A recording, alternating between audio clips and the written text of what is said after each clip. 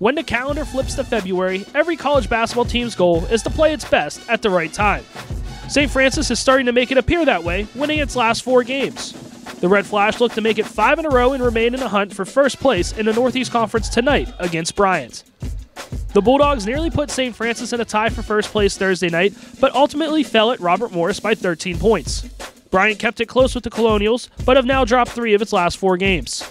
So who tears it up tonight? Is it Sabastian Townes and Bryant? Or is it Keith Braxton and St. Francis? We'll find out next on NEC Front Row.